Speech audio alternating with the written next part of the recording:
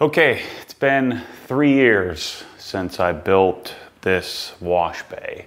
Uh, made some changes here this past week, so I figured since I've got it clean, organized, I guess it's always clean and organized, but a little bit cleaner, a little more organized than normal, uh, I figured I'd make a, a three-year update video just to take you through step by step each each win, each mistake, each product that I love, each one that I want to change, and just kind of walk you through this. So expect this to be a, a, long video of me taking you through each part and piece and the methodology behind why and how and all of that stuff. So when I first came to visit this house, I knew this house was here, and what, what really intrigued me about it is the there's a porte-cochere or a pull-through. Uh, and and uh, I figured that would be really awesome to have. And so I've been driving. This is maybe five or six years ago, driving through this neighborhood, dreaming that I could live here someday. And and this was always the house that that I modeled from the street. And so when we came and visited the place, uh, what I didn't realize was there's no garage here. so there's this 5,000 square foot house uh, I didn't know what this, I knew there was a structure back here because you can see it from the road, but I didn't know what this building that we're standing in was.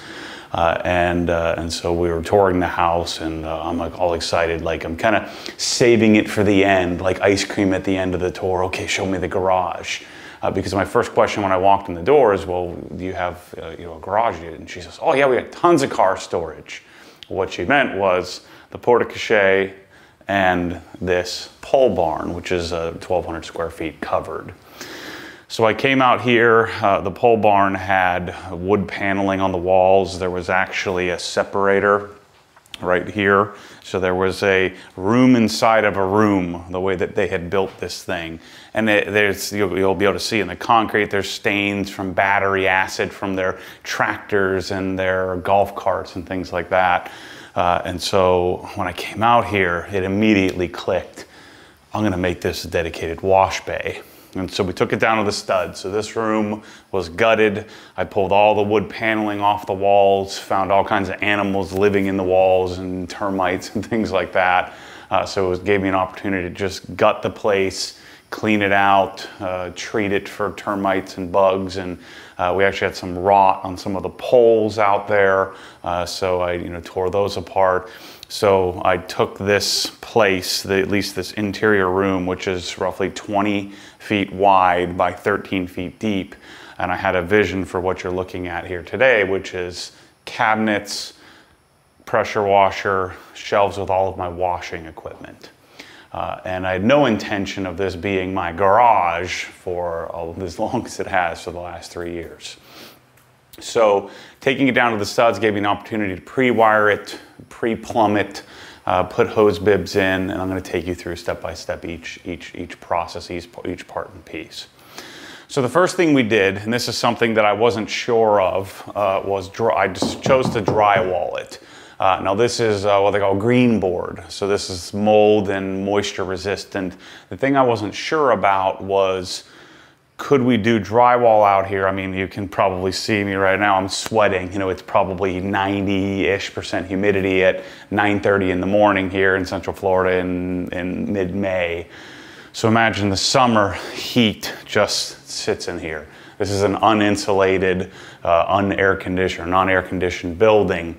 Uh, and so the first thing I thought was, should I do some sort of cement board, uh, which would be considerably more expensive, or could we drywall it? Three years in, drywall's good. Um, I do, uh, I always paint everything flat. Uh, this is Benjamin Moore uh, Ben line of flat paint. Uh, the color code is AC25. Uh, it's called Harbor Gray.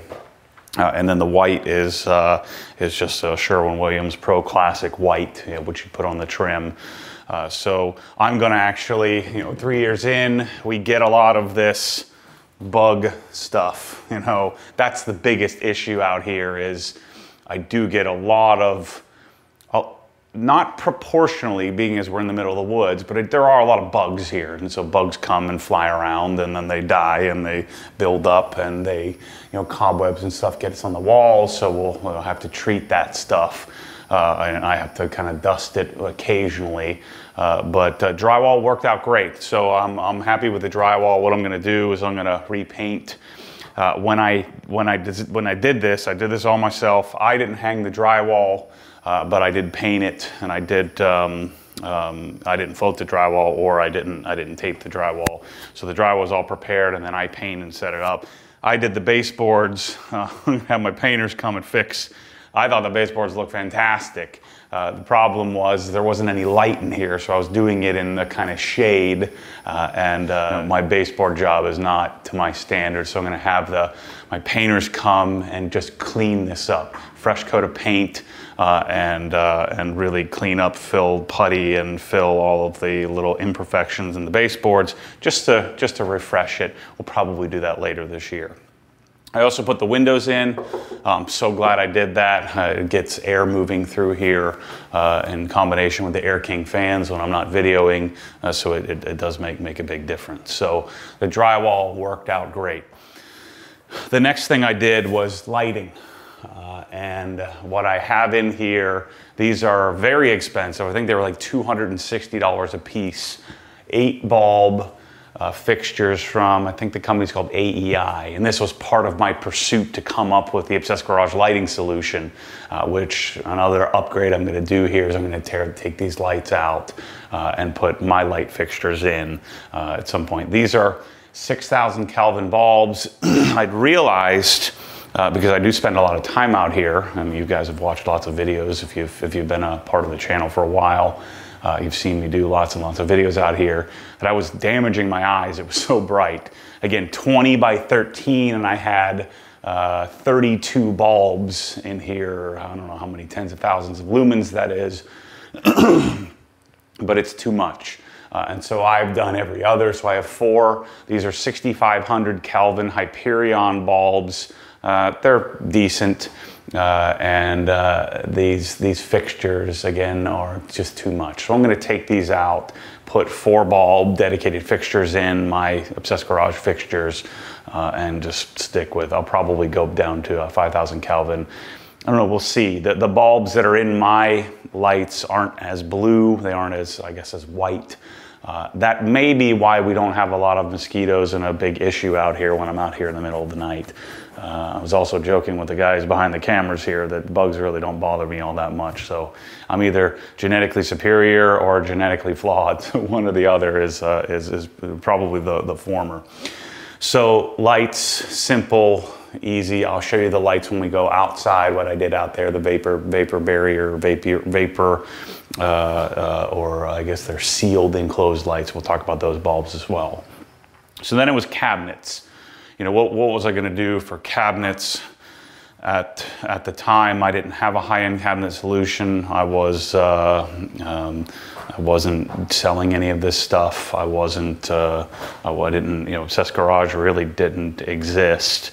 It was just Matt Moreman on YouTube. Right around maybe maybe a, a year later is when I called it Obsessed Garage. Uh, but these Saber cabinets are something that I had put in my previous garage at my previous house. Uh, and so I wanted to do it here and I wanted to do black. Uh, I wouldn't do black uh, if I had the choice again. You know, black shows, you can even see little streaks. Uh, I'll show you inside the cabinets. The, the uh, shelves tend to get, you know, tend to get beat up from sliding things in and out. And black, just like a black car, shows all the, all the issues, you know, all the, all the imperfections. But from 10 feet away, it looks great. Right now, it looks great because I have it all nice and clean. Uh, but you know, in, in general, you you're, you're I think you I think you're better off with silver.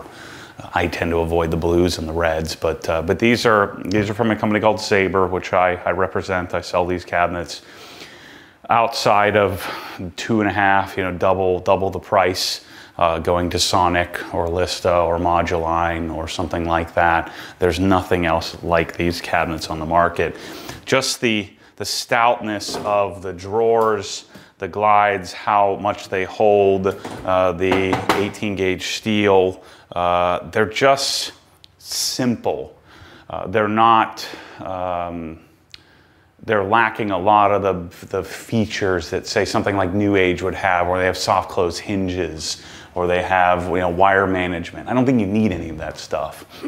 Um, I think what that does is makes, makes things uh, flimsier. So a, a, common competitor would be a New Age, I guess their, uh, their Pro, Pro Series. Uh, these are just, it's hard to explain. You know, I've, I've had them both in my hands. I actually bought a New Age cabinet and then I bought an upper from Saber way back when in my previous garage. And I just kind of held and touched and felt them for a week. I put them both on the wall and there was just, there's just, it's hard to explain, but these are just better uh, for a little bit more money than, than a New Age cabinet, uh, but nowhere near the cost of something like, like Sonic. So a mistake I made here is, again, this was intended to be my wash bay only, and I'm gonna build a garage out back.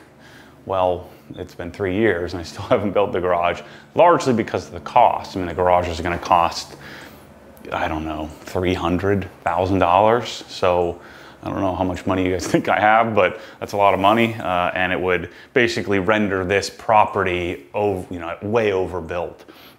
But I do want to build that garage at some point. Uh, and so what I wish I had done out here is I wish I did four six drawer cabinets uh, because you'll see, you know, I have Kaizen foam cut. Uh, so each drawer here has various stuff. I haven't Kaizen these bottoms because I have too much stuff to put in them.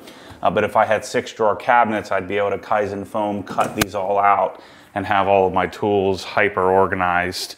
Uh, this is my original tool set prior to buying any Sonic stuff. Uh, and these, you know, these drawers, I wish I had more of them because uh, I have, you know, I have these drawers where I have extra stuff in them. So that's one thing that I've even considered doing here in my future 2.0 version of the wash bay is take out these bottoms, put in six drawers, uh, and I'm going to replace the countertops. So this is in the works. So another thing, uh, three-year update, you can see the dents and dings and the seam um, in, in, the, uh, in these stainless, so these are the Saber stainless tops. I'm done with stainless. Uh, I'm to figure out a way. Uh, my, you know, my friend Mark, friend and customer client, uh, Mark is, is helping me design and build a series of butcher block type countertops. We're going to look at different wood types, whether we do birch or maple or something like that. Uh, and I just don't like yellow wood. Uh, it reminds me of like my grandpa. So I want to do something stained or like an ebony or a dark gray and light gray and give, give, give people some options. Plus out in this particular case, I want to get rid of the seam. And I know that's going to cost me a thousand bucks to have it shipped here but you don't have a choice. They don't make these things big enough. They make them big enough so they're shippable. Same thing with Sonic, same thing with Lista, same thing with pretty much everybody. Uh, if you want, at some point you'll have to have a seam, uh, but I would want to, I would want a dialed, glued, much better structured seam than just this weather stripping that I have where I'm starting to get a little bit of float where it's expanding. Plus stainless looks great day one and then from then on out a patina or scratch on stainless doesn't give you the same character that you get from wood. So the bigger question, longer term question we're gonna have to figure out for myself and others is what about the humidity out here and expansion contraction of wood? So we're gonna work on a system, a clip type system to figure out how to, how to do that, to give people an option. We will still have stainless, uh, but I'm gonna be swapping this out for, uh, the stainless out for, for, uh, for wood. Then if you remember, most of you who watched my videos know that I had a 65 inch Panasonic uh, VT50 plasma out here for years uh, that you never saw turned on. Uh, I used it a lot in, in, in, my previous garage before I started making videos. Now, at least 75% of the time I'm out here, I've got a camera set up. Uh, and so just this past week, uh, I put these new uppers in place. They actually don't match because Saber's changed the finish. The finish is a little nicer on the new cabinet, so it's not a perfect match. Uh, and it's also now they're completely welded, so they come assembled. Where previously we had, you know, these were come in four sections or four pieces. They're actually five pieces, including the back, where you would build and put it together. So we, my dad and I mounted these cabinets this weekend. The place actually feels a lot bigger. Just to show you what's in each cabinet. My methodology here is screws, fasteners, and here, nails, uh, staples. Uh, this cabinet is power, so actually I had a power outlet there from the plasma, so I bought one of these uh, Defiant from Home Depot, uh, little power strips so I could put my Milwaukee charger, my Fenix flashlight charger, keep my smaller. Um, try to use these more than anything. My little M12 uh, impact and M12 um, um, drill. I now find myself with with extra space. I'll keep my you know whatever camera I have out here. Uh, then I have some you know basic detailing stuff, overflow from the shelves, uh, and then finally you know, oils and anything to do with you know the house and stuff. I had a lot more stuff out here, but I threw most of it away.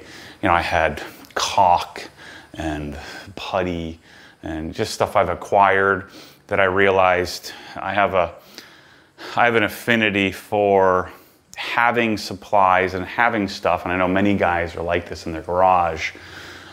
But Home Depot is like a mile and a half down the street, and I know this is wasteful but I, I have this weird tendency to hold on to certain things and then throw it away two years later. I try to keep a two or two and a half month rule, which is a little harder with tools and things like that because you don't know when you're going to need wasp spray. Uh, but you know, I had things like I had three different bottles of uh, PVC uh, glue, and uh, and, and I, don't, I, don't, need that, so I threw two of them away. And I had wood putty and things like that.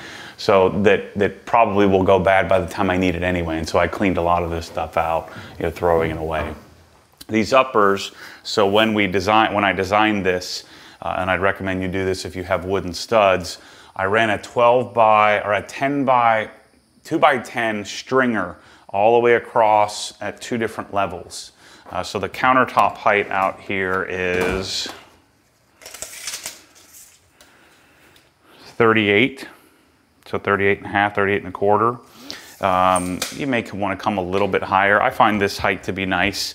Uh, I think the Saber, I'm sorry, the Sonic cabinets that I have at the other garage, I think they're 41, so three inches higher.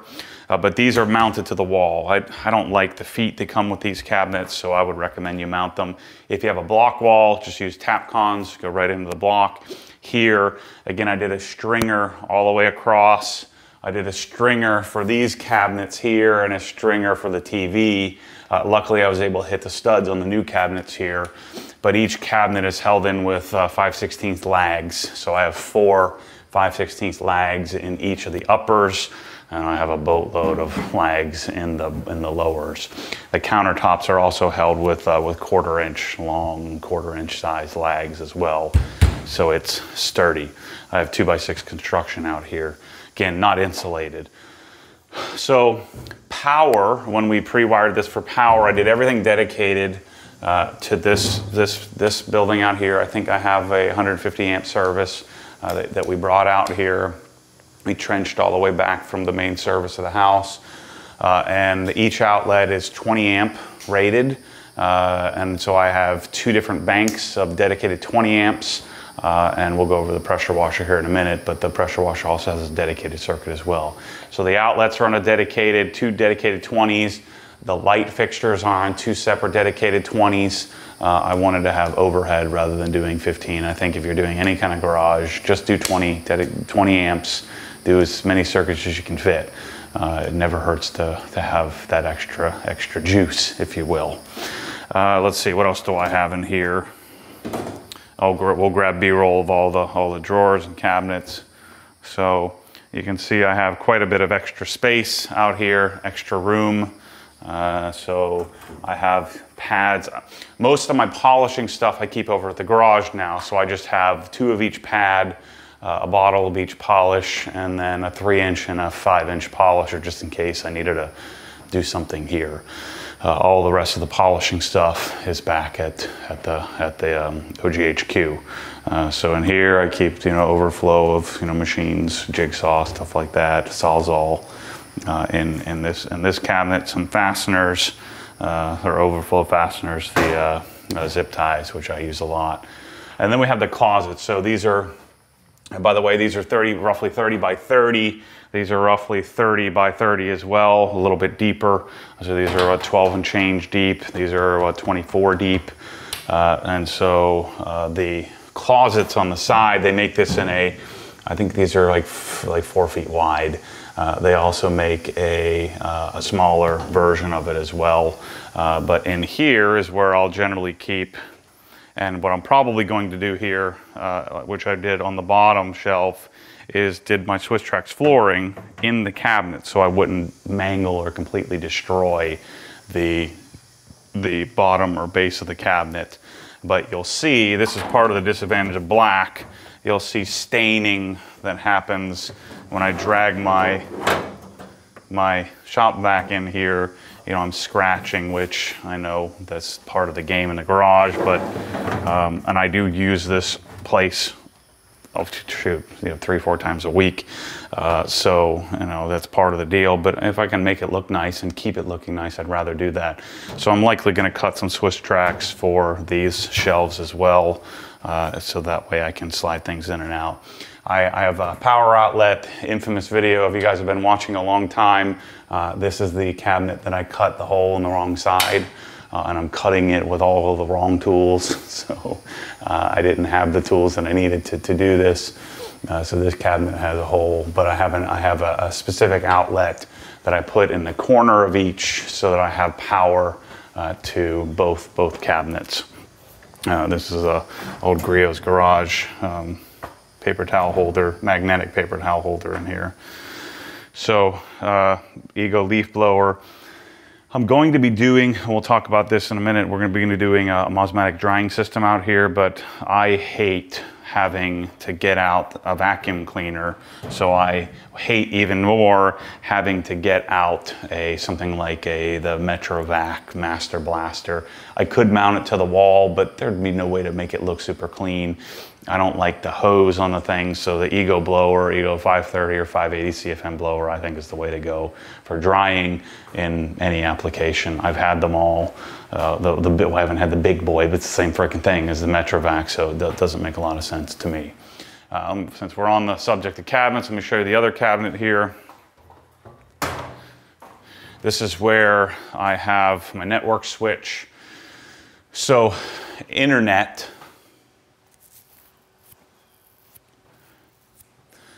So getting, and this opened up a whole nother conversation, getting internet out here. Uh, I have a Ubiquiti access point up on the ceiling, uh, and then I have a Ubiquiti network switch out here. Uh, the intent, I just haven't done it yet, this is also part of 2.0, is to put cameras out here. Uh, the, you know, it'd be nice to have the ability to have some cameras so I can, you know, see what's going on. Uh, I could just buy some Nest cameras or, you know, we're to do, um, so we're probably going to do some Avigilon or something fancy out here. My buddy Ramel uh, will will will figure that out for me. But we have a network switch. I have this, this building wired. Uh, we have Cat 6 run throughout in the corners uh, up under the wash bay in here. So I have the ability, we're gonna put cameras all over the place in here for the fun of it. Uh, I don't really need a lot of security out here, but I do have a, a UniFi uh, eight port switch. Uh, my old Yamaha RX V800 powers my, uh, my Dynaudio Excite X12s and then the Excite Center. I just have three uh, 3.1 setup out here. Uh, I originally put the center channel because I had the TV. Well, now I just leave the center channel just for a little bit more amplitude. Uh, we're not getting good imaging in here anyway. I'm, you know, firing off of a metal countertop with metal buildings, or sorry, metal uh, cabinets. Uh, but the Yamaha RX V800 will probably be replaced. Uh, I just replaced a bunch of stuff in my home theater, so I actually have an Integra DHC 80.3, really fancy uh, older uh, preamp. Uh, so what I might do is do something like Outlaw Audio monoblocks and just do complete overkill uh, for these for these little you know high-end little speakers. I think these are like 1500 bucks a pair. I think the center channel is another thousand bucks or so. So these are really nice bookshelves in the entry-level Dynaudio line uh, that I may give them a little bit cleaner, better power. Uh, the volume control on my RXV 800s finally kind of died and the remote control stopped working. I mean, this thing is almost 20 years old now.